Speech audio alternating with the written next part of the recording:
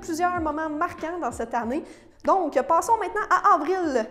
Euh, pour avril, il y a eu un don historique qui a été fait au Festival de Lanaudière. Donc, euh, on se souvient, ils se sont fait donner un bâtiment. Euh, donc, on s'était entretenu avec Xavier Roy, qui est directeur général. Il y a l'entreprise Richard qui est tombée en grève également à ce même moment. Il y a Aide à domicile d'Autré, donc ADA comme on les appelle, qui ont fait un changement de nom et d'image. Euh, on rappelle aussi que Léo Soulière euh, avait annoncé sa candidature pour le Parti conservateur pour les élections fédérales qui, a eu lieu quelques mois plus tard. Et lors du gala Ose Entreprendre, il y a eu l'entreprise Les Grillonnettes à Lavaltrie qui a remporté un prix, donc nous étions entretenus avec cette entreprise. Que vous avez reçu un don historique. Euh, Pouvez-vous d'abord m'expliquer en quoi consiste ce don? Ah, mais ça, c'est effectivement quelque chose qui arrive euh, très rarement dans, dans la vie d'un organisme. Euh, on a reçu le don d'un édifice au centre-ville de Joliette euh, pour y, y, aménager le quartier général de la musique dans la région de la. Okay. Euh, les détails plus précis de ce projet-là vont être annoncés au fur et à mesure qu'on avance dans les prochaines semaines, mais, mais déjà, juste de recevoir un édifice en cadeau, c'est vraiment quelque chose d'exceptionnel. Fait que c'est euh, ça. Comme ça arrive vraiment très rarement, on, on le qualifie d'historique.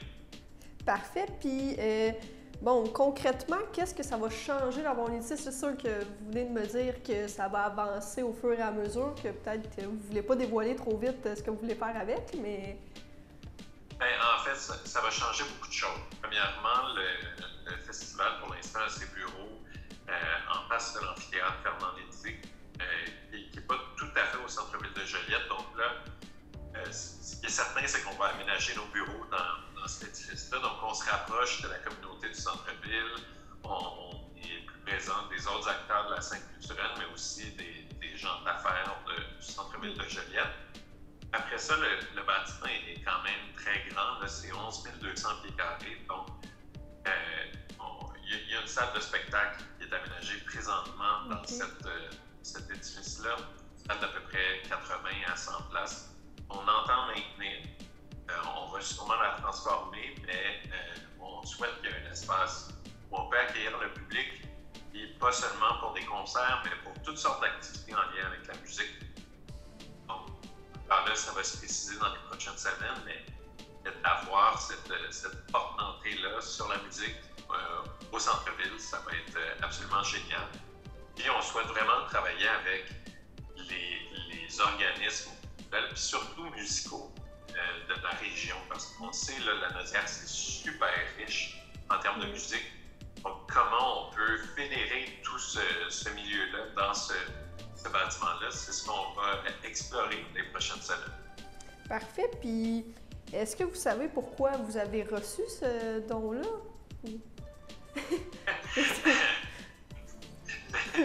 C'est. Euh, je me suis posé souvent la question parce que c'est un acte de telle générosité que euh, moi, personnellement, je me sens euh, jamais. On dirait que je, je sens pas que le festival, que moi, je mérite ça. parce que c'est tellement exceptionnel. Mm. Par contre, la vision qu'on a présentée au propriétaire, euh, Gérard Deschenaux, c'était justement cette, idée de rassembler tout le milieu de la musique, d'en faire vraiment un, espace ouvert sur la communauté, puis euh, l'allumer dans le projet. C'est-à-dire, ben, cet édifice-là qui a été, qui, a eu plusieurs fonctions au centre-ville, qui a été beaucoup de restaurants, euh, il y a eu une salle de spectacle même accueilli la radio de Joliette pendant un coup de temps. Euh, cet édifice-là va avoir une vie qui va être, en fond, ouverte sur les gens du coin, puis qui va, qui va permettre un plus grand rayonnement de la culture, puis un grand impact de la culture aussi dans, dans la région.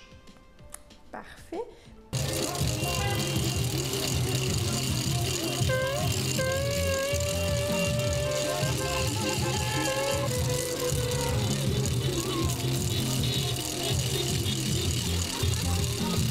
Est en négociation. Puis là, ben, euh, au début, ça allait lentement. On est allé chercher un moyen de pression. Puis maintenant, depuis hier, on a un mandat de grève parce qu'on veut que ça s'améliore. Demain, on négocie, on espère qu'on va avancer avec l'employeur. Dans nos négociations, le monde, comme vous le voyez, le monde, c'est ça qu'ils veulent.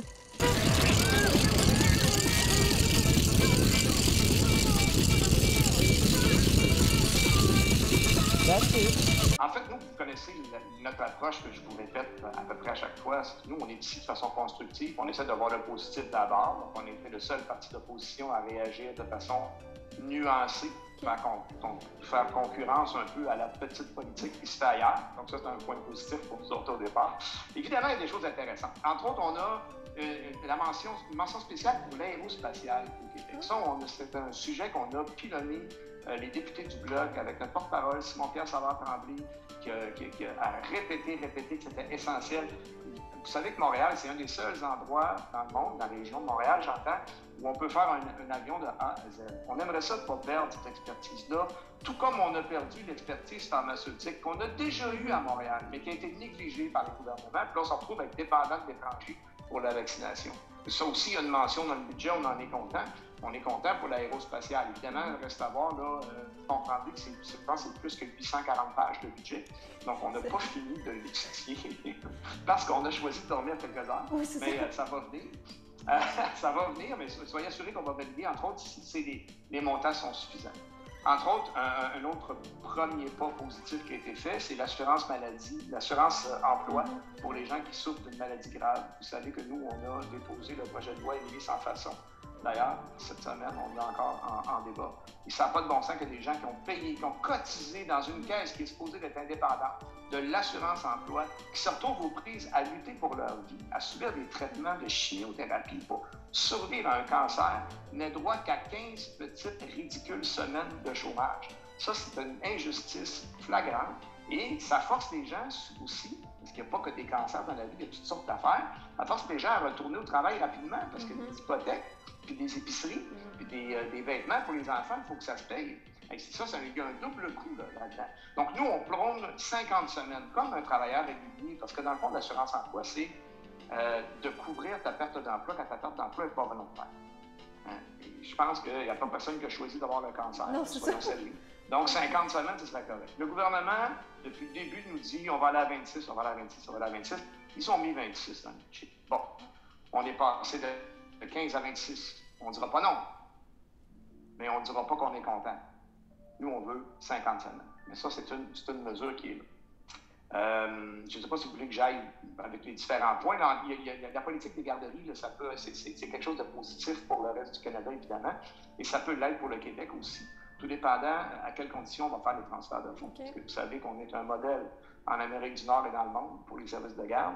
Euh, ça permet, entre autres, à nos jeunes femmes mères de famille d'être sur le marché du travail sans compromettre l'éducation et la sécurité des enfants. C'est quelque chose qui est important. Euh, bon, les Canadiens ont fini par s'en rendre compte que c'était bon. Ils veulent le faire. On, on applaudit, on est content. Mais nous, ce qu'on veut, c'est que les sommes d'argent qui auraient dû être mises au Québec si on n'avait pas déjà eu un tel programme, on les veut. Puis on les veut sans aucune condition. Parce qu'il y a un maître d'œuvre là-dedans, c'est Québec. Ça, c'est bien important aussi. Maintenant, si je vais euh, un petit peu dans le moins positif, évidemment, il y a nos deux grands enjeux, les aînés, hmm. les pensions de vieillesse pour les aînés. Moi, je ne peux pas croire que notre gouvernement, je vais le dire comme ça vient, est sans cœur au point de refuser de donner 110 par mois d'indexation aux pensions de vieillesse. Savez-vous, ça a été quoi, l'indexation des pensions de vieillesse l'année passée au Canada? Quelque chose comme 1,26. Ça ne paye même pas un café chez C'est complètement ridicule et révoltant. Donc, ça, il faut que ça augmente. Il n'y a rien là-dessus. Tout ce qu'on a réussi à obtenir, c'est un montant forfaitaire paiement unique de 500 pour les gens qui ont 75 ans et plus. Comment ça se fait que tout d'un coup, dans le Grand Canada qui se dit égalitaire et non discriminatoire, on se met à faire de la discrimination sur l'âge dans le groupe des aînés? C'est inacceptable. On n'acceptera pas ça. Bien sûr, on va le prendre de 500 comme on a pris le 500 qui a été versé à tous les aînés pendant la crise, mais on va continuer la bataille pour ça. Puis, évidemment, l'autre grand absent, c'est les transferts en santé. Hein. Puis c'est drôle parce que ces deux engagements-là, les pensions pour les aînés et les transferts en santé, ça correspond à peu près à, ce qu'on a en moins dans le déficit. On prévoyait euh, quelque chose comme 384 milliards. Puis là, on a descendu euh, le déficit. Et si on fait le calcul, si on faisait ces dépenses on arriverait au déficit. C'est vraiment un choix politique qui a été fait par les libéraux d'abandonner les aînés, puis d'abandonner les provinces et le Québec dans la gestion de la santé. Puis ça, on ne l'acceptera pas, évidemment. Oui, donc on est ici pour parler justement de, euh, de l'organisme Aide domicile d'Autré. Euh, donc, comment ça s'est passé pendant la pandémie? Le présentement, on est encore dedans, mais... je vais le dire, on s'en est très bien sorti. On a eu des événements durs au début, mm. euh, avec les, mises en place des restrictions de la part du gouvernement, puis ce qui était tout à fait normal on, attaquait un ennemi invisible, mm-hmm. puis il fallait trouver les, manières que ça fasse le moins de dégâts possible. Fait que de notre côté, ben, on est obligé d'arrêter les services non essentiels, qui étaient surtout les services d'entretien ménager, mm. la période du 19 mars au 15 juin. que malheureusement, on avait été obligé de mettre des employés à pied, on en a mis une trentaine à pied. Mais les services essentiels comme l'aide au repas, euh, préparation de repas, euh, l'aide aux soins euh, personnels, tout ça, on a pu continuer en mettant en place des, des, des, procédures pour respecter tout ce qui était au niveau sanitaire. Mm-hmm. on, a, on, a, fait beaucoup d'achats puis grâce euh, au CLSC, euh, puis le CIS, CIS Lanaudière, qui nous rembourse ces produits-là. Il fallait faire l'achat de masques, de gants, hmm. euh, de, de, de, purelles ou tout, désinfectants à main, tout ça, mettre en place des, techniques de travail qu'on ne mettait pas en place avant pour, pour s'assurer que tout le monde était protégé, autant les préposés hmm. que les utilisateurs de services. Mais ça n'a pas été facile, mais on a passé à travers. j'ai vu justement qu'il y avait. Vous faites des préparations de repas à domicile. Fait que c'est sûr que là, il faut euh, protection supplémentaire pour être sûr que tout est Tout à fait. Tout à fait. Euh, tout est fait en mesure de se protéger et de protéger l'utilisateur. Puis là, il y a eu aussi un sondage léger euh, qui a démontré que justement les, les, organismes ou les entreprises qui font du service d'aide alimentaire sont peu connus. Euh, donc, euh, c'est pourtant essentiel comme service. Donc, pouvez-vous parler un peu de ce sondage-là? C'est ça, c'est pas juste les services alimentaires, c'est vraiment les soins à domicile ou l'aide à domicile.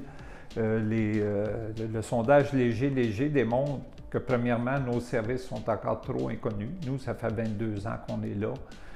Il faut encore faire beaucoup de promotion de nos services une personne sur quatre au Québec n'est pas au courant, n'est pas assez au courant de ce qu'ils peuvent, peuvent, recevoir à domicile comme service.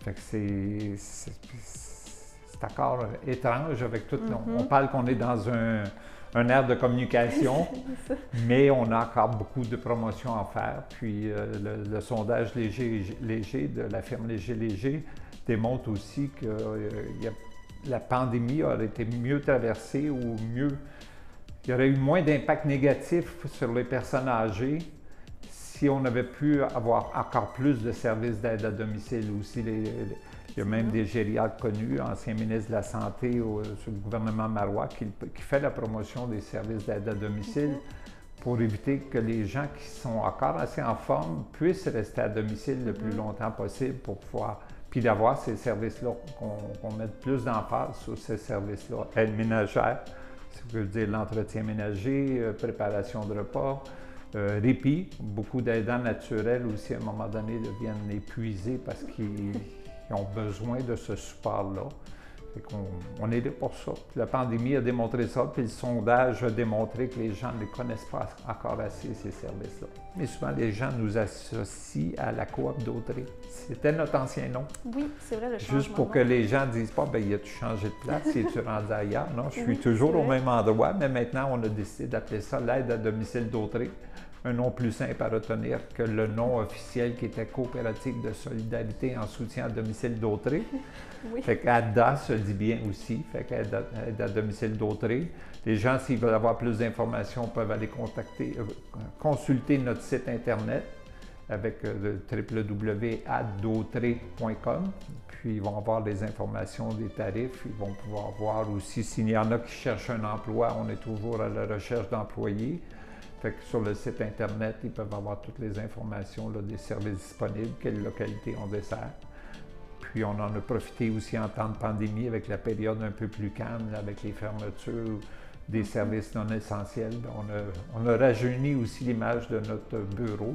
On a, refait, euh, la, on a fait la rénovation extérieure pour protéger notre bien. La bâtisse nous appartient, fait qu'il faut le protéger, c'est un investissement. Puis à l'intérieur aussi, grâce à l'aide de la Caisse d'Autré, qui ont investi, on a eu une subvention qui nous a permis à l'intérieur de nos bureaux d'être plus sécuritaires, justement à cause de la pandémie. Fait qu'on a pu faire l'installation et l'achat de matériel pour qu'on soit protégé. Euh, la rénovation intérieure des bureaux aussi nous permet d'avoir des bureaux fermés, fait qu'on peut travailler euh, sans masque à l'intérieur du bureau quand on est seul dans notre bureau. Puis on a euh, le fait de la façon qu'on a cloisonné aussi à l'intérieur, ben, ça nous donne plus de confidentialité quand des gens arrivent. On a un, un bel accueil, un, bel- un beau poste de réception qui permet aux gens d'attendre là le temps que qu'on puisse les accueillir dans nos bureaux. Puis il y a une confiden- confidentialité en ayant des portes fermées, puis tout ça. fait puis c'est surtout au niveau de la protection qu'on le fait là, pour la pandémie est encore là. L'entreprise Les Grillonnettes euh, est active depuis euh, fin 2018. C'est parti un petit peu d'une idée folle euh, de trouver une façon de nourrir le monde de manière plus éco-responsable puis de répondre à des besoins nutritifs. Donc, de manière personnelle, moi, je mange pas de viande et j'ai eu plusieurs carences étant donné que je fais des sports d'endurance, entre autres la B12, euh, le fer, le magnésium. Et lorsque j'ai cherché un petit peu dans la littérature, j'ai vu que l'entomophagie était une belle réponse à cette problématique-là. Euh, de formation, moi je suis biologiste, alors euh, j'ai décidé finalement de partir dans la grande aventure de devenir euh, entomoculteur euh, et de partir ma propre ferme. Donc c'est un petit peu le- les raisons qui m'ont poussé à, à faire ce cheminement-là. Puis de fil en aiguille, on s'est aperçu que cette entreprise pouvait encore plus améliorer l'aspect éco-environnemental. On a donc développé une ferme de micro-pousses pour optimiser toute l'énergie en fait, qui est euh, utilisée par la ferme, mais plus en hauteur. Donc on parle d'énergie lumineuse puis thermique. Et dernièrement, on a aussi décidé de valoriser euh, un de nos extrants qui est euh, l'engrais de grillon, donc issu des déchets bio-organiques des grillons. Alors euh, voici un petit peu tous les volets de l'entreprise en deux ans. C'est un peu la magie euh, du grillon, c'est qu'en effet, euh, sous forme de poudre, on ne voit pas le grillon. Alors euh, souvent, ça, ça aide à faire tomber la barrière qu'on a. Euh, le goût est euh, assez neutre, c'est un petit goût de noisette grillée, donc c'est pas méchant, ça se marie aussi bien dans des mets salés que sucrés.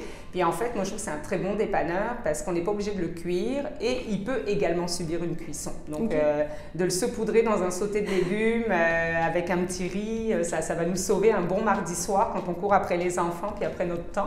Euh, de le mettre dans le smoothie du matin, euh, de le mettre dans des collations. Euh, on vient vraiment mettre de la protéine partout et puis on, on a aussi des bienfaits parce qu'on n'a pas de gras trans. C'est la seule protéine d'origine animale qui a des fibres. Puis vu que c'est une protéine animale, ben, elle a tous les acides aminés essentiels.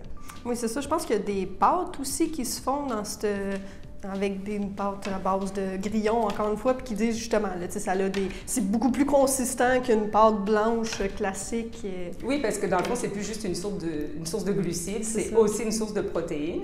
Euh, on est différents euh, transformateurs dans le marché québécois à proposer plusieurs produits. Nous autres, par exemple, on fait des scones à base de grillons, des boules d'énergie, de la préparation à crêpes multigrains. Donc, on essaie de développer le marché pour euh, en offrir à tous selon les goûts. Puis, je vous dirais que la deuxième casquette que j'ai dans l'entreprise, euh, mis à part d'être producteur, c'est de démocratiser l'entomophagie. Parce que, euh, oui, les gens, quand ils nous entendent parler, ça, ok, c'est bon pour l'environnement, mais de là changer leur quotidien, leur source de protéines, il y a, il y a une grande euh, évolution à faire. Et euh, ben, c'est ça. Dans le fond, nous autres, on fait de l'éducation. Donc, on s'en va dans les écoles, dans les cégeps, dans différents milieux de vie. Puis, on parle de l'entomoculture. Euh, prochainement, je rentre également comme conférencière à l'insectarium de Montréal. Et puis, euh, c'est important d'éduquer les gens, puis de leur faire euh, découvrir ce produit qui a juste des avantages, dans le fond. Oui, c'est ça. Puis, tu sais, comme, comme, euh, vous l'aviez dit tantôt un peu, il y a comme un, un mur qui se dresse, veux, veux pas, on, on voit le grillon, puis, tu sais, on est comme, moi, je suis pas sûre que je veux manger ça. fait que, tu sais, c'est ça. En le modifiant, ça l'aide aussi. à- Ben, c'est moins pire. Puis je vous dirais que il y a deux générations. Il y a nous autres, les, les, les, plus âgés. Alors là, je parle de 12 ans en montant, là, je ratisse large. Euh, on est éduqués, c'est vraiment culturel. Mhm. On est les seuls, Europe et Amérique du Nord, à ne pas consommer d'insectes dans notre alimentation, puis tout le reste du monde en consomme. Vous allez n'importe où, en Afrique, en Asie, en Amérique du Sud, c'est une protéine euh, qui, est, euh, qui est quotidienne. Nous autres, c'est euh, culturel. Et quand on est petit, on a peur des bibites, on nous dit qu'il y a une araignée sous le lit, l'Halloween, tous les insectes, c'est comme dégueu. Euh, donc, on est vraiment éduqué dans ce sens-là. Donc, c'est une autre éducation à mm. apporter. Puis les plus jeunes, veut, veut pas, c'est une protéine de l'avenir, puis eux autres, ça va faire partie de leur quotidien, un peu comme on a démocratisé le tofu euh, il y a une vingtaine d'années. Alors, euh, notre entreprise euh, va d'ailleurs sortir d'ici quelques jours notre premier album pour enfants qui s'appelle Léon le Grillon et qui démocratise l'entomophagie auprès des plus jeunes. Donc, c'est aussi leur permettre de, de s'éduquer dès le plus jeune âge. Pour l'anecdote, quand j'ai acheté mes premiers grillons, j'en avais 100, là on les compte par millions maintenant, mais J'en avais 100, puis euh, je sais pas, j'ai regardé mon premier grillon, toi tu vas t'appeler Léon. avec mes enfants, c'était vraiment très drôle. Mais euh, on s'entend que ça se reproduit vite. Alors ils s'appellent tous Léon, mâle, femelle, petit, grand, euh, peu importe. Donc Léon le grillon, c'est resté. Puis les gens dans, dans, mon, dans, ma ville, à la Valtrie, m'appellent soit Madame Grillon et souvent ils me demandent Puis Léon, comment il va Fait que c'est vraiment rendu quelque chose d'assez populaire. Euh, on, voulait justement, quand on parle de démocratisation, de sensibiliser le public, on veut le rendre sympathique, mhm. Léon. Donc, euh, en lui donnant un nom, en le, mettant comme dans mon logo sous forme un peu de bonhomme, euh, c'est plus invitant aussi à, s'intéresser à, à l'entomoculture. Et ce livre-là, donc comme je le disais tantôt, il s'adresse aux jeunes, aux très jeunes, mais il y a des capsules euh, d'infos au travers, donc pour permettre aux parents d'avoir des informations un peu plus scientifiques et de, promouvoir aussi ce produit-là. C'est un peu ça, c'est l'éducatif et le côté ludique en mm. arrière de ce livre-là. On n'a pas sorti un album pour le plaisir de sortir un album. Ben, oui, on a eu du plaisir à l'écrire, mais en fait, c'est vraiment l'éducatif. Alors, peu importe euh, l'expérience que mhm. les gens vont avoir avec ce livre-là. Si à quelque part, moi, dans 15 ans, j'ai un jeune qui me dit Hey, ce livre-là, je l'avais petit, puis ben, j'en mange pas plus de grillons, mais au moins il en parle encore. Mais pour moi, c'est gagnant. Ça représente beaucoup sur différents volets. Euh, premièrement, j'en revenais juste pas, je ne vous le cacherai pas. J'avais des, des, concurrents. Euh, qui avaient des, des, grands souliers, comme, comme j'aime le dire. donc la compétition était rude. Euh, je pense que mon modèle d'affaires, puis le domaine dans lequel je suis, qui est assez inusité, euh, a, eu euh, quand même un, gros poids dans la balance. mais oui, beaucoup d'émotions cette soirée-là. Je ne m'attendais pas à avoir un prix, puis finalement j'en ai eu trois. Donc c'est ça. point de vue du bioalimentaire, très très fier de représenter notre région de la Naudière, qui a de très très beaux producteurs en plus ici. Donc d'aller présenter ma région au national, c'est vraiment un honneur. Euh, pour la partie euh, internationale hors Québec, c'est parce qu'on est en train de développer présentement des marchés en Ontario, avec nos voisins du Sud également, et dans un avenir un petit peu plus lointain en Europe. Euh, c'est sûr que là, c'est des questions de normes qui sont un petit peu différentes, alors le laps de temps est un petit peu plus grand. Puis pour la partie entrepreneuriat féminine, ben, c'est sûr que le, malheureusement en 2021, il faut encore souligner que la femme est capable euh, de, de, faire ses preuves en entrepreneuriat. Mm. Et puis, euh, ce prix-là existe. Mais en fait, j'ai juste hâte qu'il n'existe plus, ce prix. Moi, c'est. Parce que si on n'en aura plus besoin, la parité va être là, puis on fera autant confiance aux hommes qu'aux femmes. donc voilà, donc oui, très très honoré de tous ces prix-là. Puis c'est ça, puis il y a quatre prix coup de cœur, vous en avez gagné deux sur quatre, fait que c'est quand même la moitié des prix remportés par l'entreprise Le Grillonnet.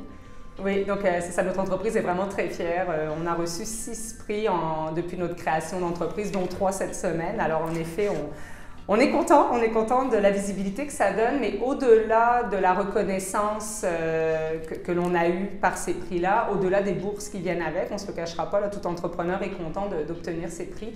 Mais je vous dirais que quand on est dans l'entrepreneuriat, souvent on a choisi de prendre la rivière avec des rapides plutôt que le long fleuve tranquille.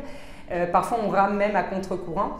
Et euh, on, est tellement pris dans nos actions qu'on a de la misère parfois à faire le recul, puis à se dire quel est le cheminement qu'on a fait, puis je suis rendu où présentement. Mm. Et parfois, on cherche notre X. Est-ce que je suis encore sur mon X? Est-ce que euh, ce que je fais, ça a du sens? Est-ce que je m'en vais dans la bonne direction?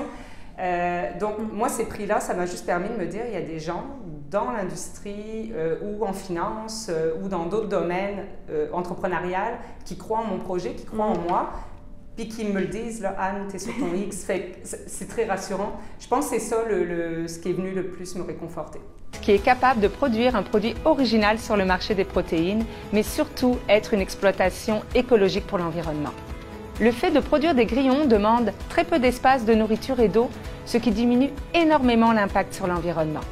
De plus, nous développons d'autres volets afin de maximiser l'économie circulaire dans notre modèle d'affaires. Saveur des jardins et Je tiens à partager cette récompense avec euh, mon mari, mes enfants ainsi que tous mes amis qui ont cru en moi et à ce projet depuis le premier jour. Une petite pensée spéciale aussi pour ma maman qui veille sur moi là-haut. Donc euh, merci à tous ces gens de tout cœur. Sans vous, je ne serais jamais arrivée jusque-là. Le moins qu'on puisse dire, c'est que les grillonnettes se sont vraiment démarquées cette année, car ils repartent également avec le prix Coup de cœur développement de marché hors Québec et international et aussi le prix Coup de cœur entrepreneuriat féminin. Vraiment bravo à Anne Charlot.